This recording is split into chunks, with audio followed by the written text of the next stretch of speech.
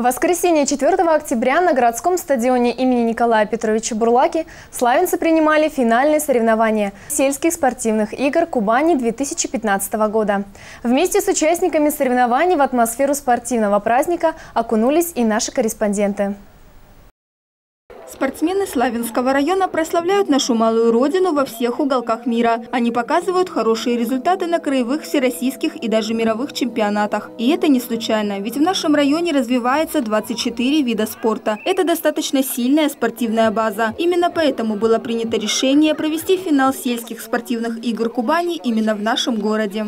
Славянцы на Кубани у нас э, самый сильный, один из самых сильных спортивных э, регионов Краснодарского края. Здесь много чемпионов, э, которые он воспитывает в своих спортивных школах. Сегодня мы проводим финальный этап сельских спортивных игр, 22-х сельских спортивных игр Кубани. Соревнования среди жителей сельских районов Краснодарского края первом этапе соревнований приняло участие свыше 60 тысяч человек. Это ежегодное мероприятие, проводимое Министерством физической культуры и спорта Краснодарского края.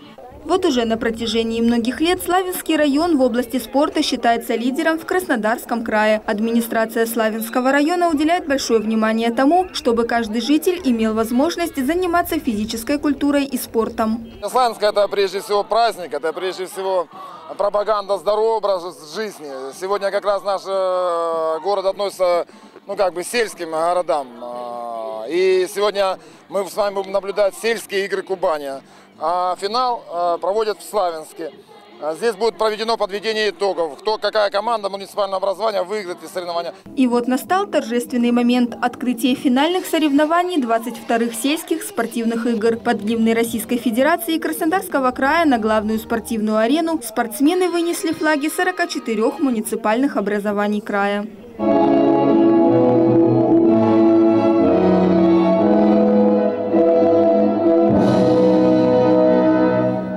Перед участниками соревнований с приветственным словом выступил председатель районного совета Григорий Литовка.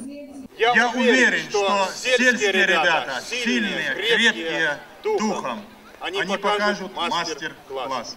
Я, Я от всей души желаю вам крепкого здоровья, успехов и спортивных побед. С праздником! Сразу после красочного открытия соревнований 360 спортсменов со всего края приступили к состязаниям в мини-лапте в выполнении комплекса «Готов к труду и обороне» в соревнованиях дуэров. Дух соперничества, спортивный азарт, жажда победы – все это слилось воедино на городском стадионе. Яркий тому пример – состязание по мини-лапте. Это игра, где каждая команда защищает свое поле от соперников. На первый взгляд легкие правила, но при этом присутствовала сложная и нешуточная борьба за право стать лучшими. Готовились мы недолго к ним. Вот. Некоторые, да, вообще первый раз взялись за биту. Вот. Ну, как, как играем, так играем. Также в этот день продемонстрировать свои спортивные навыки по выполнению нормативов Всероссийского комплекса «Готов к труду и обороне» смогли как юноши, так и девушки. С этой задачей спортсмены справились на отлично, показывая высокий уровень мастерства. Мы принимаем участие в ГТО, то есть готов к труду и обороне. Проходим виды такие, как сжимание, точнее сгибание и разгибание рук в упоре лежа.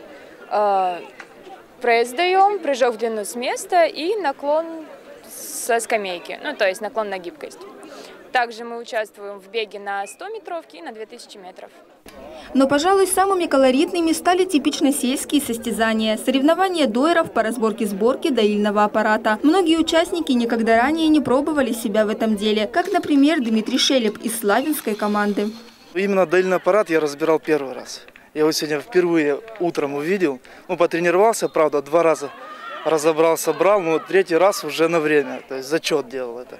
Ну, показал я время 2.47, ну, думаю, неплохой результат для первого раза по крайней мере.